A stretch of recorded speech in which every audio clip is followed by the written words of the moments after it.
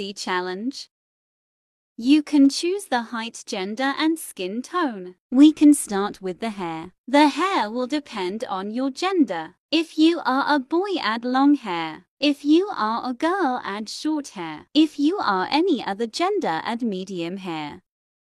Now, let's do the color. If you don't have a pet, add blonde hair. If you have one to two pets, add ginger hair. If you have three to four pets, add brown hair. If you have five plus pets, add black hair.